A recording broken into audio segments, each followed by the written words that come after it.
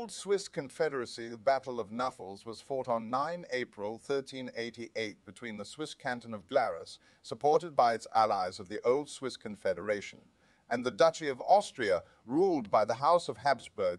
It was a decisive victory for Glarus and led to its independence from Habsburg rule. The battle was the last of the of the Swiss-Austrian conflicts that stretched through most of the 14th century.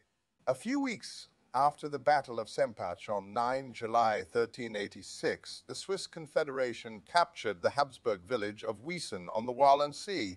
The following year, Glarus rose up against the Habsburgs and destroyed Burg Windegg. Then, on 11 March 1387, the Valley Council declared itself free of Habsburg control. In response, on the night of 21 22 February 1388, an Austrian army attacked Wiesen and drove off the Swiss forces.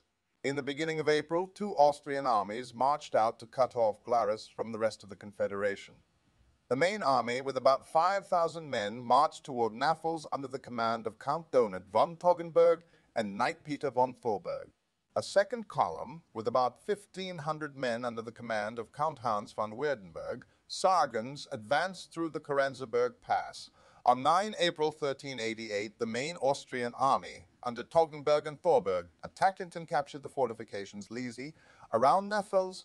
The garrison, comprising about 400 troops from Glarus and a few dozen troops from both Schwyz and Uri, held out for a short time, but was forced to withdraw into the hills as they retreated, the Austrian army spread out to plunder the villages and farms.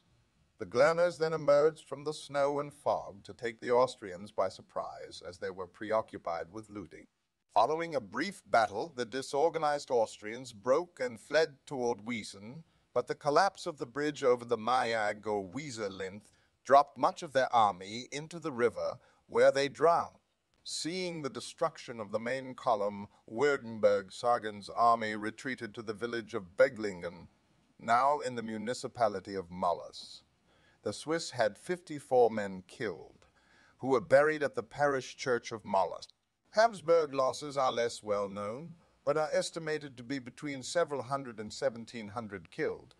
On 29 November 1389, the abbot Bilgeri had about 180 bodies moved from the battlefield and buried at Ruti Abbey in the choir of the present Ruti Reformed Church. In 1389, a seven years peace was signed at Vienna, leaving the Confederation in undisputed possession of all the territory it had acquired in the recent war. In the same year, the first Nafelsa a pilgrimage to the site of the battle, was held.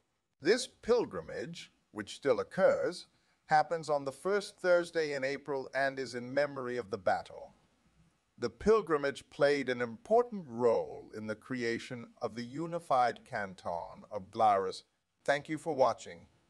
Don't forget to please like and subscribe. If you have a topic you would like to suggest, leave a comment.